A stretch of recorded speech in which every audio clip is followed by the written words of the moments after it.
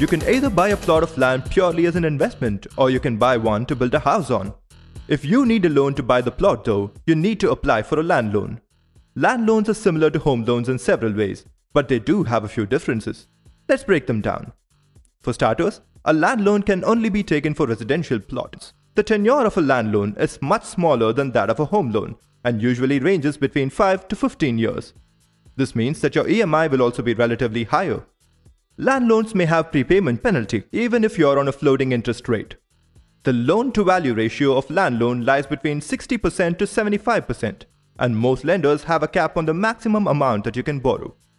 You'll have to bear almost 30 to 35% of the cost as down payment. The interest rates for most land loans are usually at par with home loans. The eligibility criteria and documents required remain quite similar to that of a home loan you need to show original documents of land ownership and the title deed. Some banks may have a clause where they expect you to start construction within 6 months of the purchase. If you're constructing a property, you'll have to provide them with copies of the approved plans and drawings from the architect or engineer that you've hired. If it's a converted land, lenders will ask you for the conversion order and receipts of conversion and development fees. Unlike home loans, you don't get any tax benefits on the principal and interest on a land loan. But once the construction is finished, you can get the exemptions that apply for regular home loans.